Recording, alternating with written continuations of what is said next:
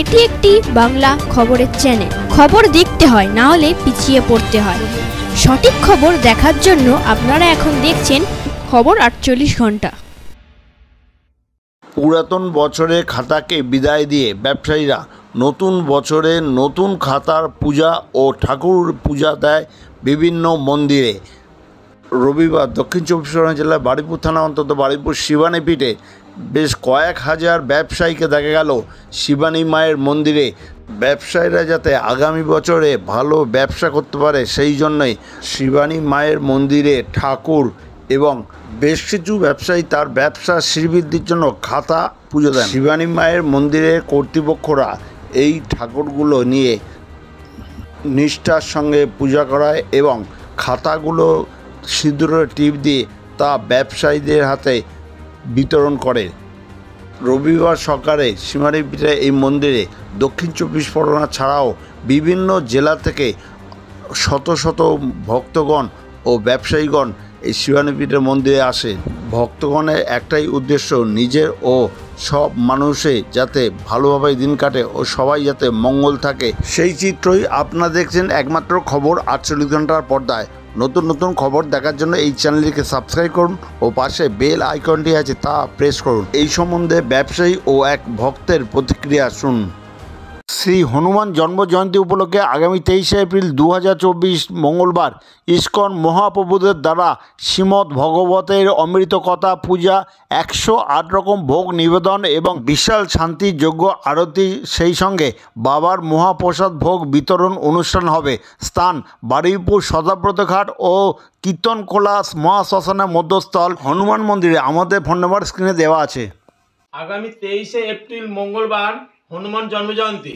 এই উপলক্ষে বাইশে এপ্রিল ও তেইশে এপ্রিল হনুমান মন্দির স্থান শতাব্দ ঘাট ও কীর্তনকলা মধ্যস্থলে দুদিন বিশাল মেলা। এই মেলা উপলক্ষে আগামী বাইশে এপ্রিল সকাল নটায় একশো আট কলসি জল দিয়ে প্রভুর মহাস্নান এবং তেইশে এপ্রিল ইস্কনের প্রভুর দ্বারা সকাল থেকে সন্ধ্যা পর্যন্ত ভগবতের অমৃত কথা একশো আট ভোগ নিবেদন, সাধুগুরু বৈষ্ণবীদের মহাপ্রসাদের ব্যবস্থা। এবং ভক্তদের মনস্কামনা ও শান্তিযোগ্য আপনাদের উপস্থিতি ও সহযোগিতা আমরা একান্তভাবে কামনা করি। এবং বিশেষ ঘোষণা যে সকল শিশুদের জন্মদিন আমাদের হনুমান মন্দিরে নাম নথিভুক্ত করলে প্রত্যেকটা বছর সেই দিনেতে বাচ্চার মঙ্গল কামনায় আমরা পুজো দিয়ে দেবো। তপন শাহ সাংসারিক আহ, উন্নতিকল্পে নিজের শান্তিকল্পে মায়ের চরণে পুজো দেওয়ার জন্য প্রত্যেক বছর পয়লা বৈশাখ এখানে এসে মায়ের পুজো দেয়। বালপুর থেকে নাম কি আপনার? আমার নাম শান্তনু এখানে আমরা দু বছর ধরে আসছি। প্রতি দু বছর ধরে পয়লা বৈশাখে আমরা মায়ের কাছে পুজো দিই। মন্দিরটা খুব ভালো লাগে। প্রতি বছর মায়ের কাছে পুজো দিয়ে বছরটা শুরু করি। এটা খুবই ভালো লাগে। মায়ের মায়ের কাছে পুজো দেওয়াতে ভিড়টা কিছুই না। আপনি কোথা থেকে আসছেন? আমি আসছি কৃষ্ণ মন্দির। আপনার নাম কি? আমার নাম দেবপ্রিয়া দাস। মা সকলের মঙ্গল করুক। ঠিক আছে? যে যে ফিল্ডে কাজ করছে বা যার জীবনে তার সমস্যা আছে, সব মা মিটিয়ে দিক, ঠিক আছে? এটাই আমাদের কামনা। সবার জীবনের যাবতীয় সমস্যা মা দূর আমাদের শিক্ষামূলক, পড়াশোনা সংক্রান্ত।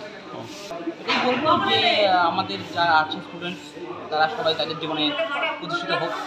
আর যে যে জায়গাতে আছে, চাকরি হোক, ব্যবসা হোক সব কিছুতেই তারা জীবনে জীবনে উন্নতি করতে পারে। প্রত্যেকের পরিবারে এবং বাহ্যিক জীবনে সব জায়গাতেই তাদের জীবন শান্তি আসে প্রত্যেক বছর এই পয়লা বৈশাখের দিন কি ঠাকুরের পুজো টুজো দেন? হ্যাঁ হ্যাঁ। আপনার নাম? আমার নাম বিজয় গাঙ্গুলি বিজয় গাঙ্গুলি। আপনার সংস্থার নাম?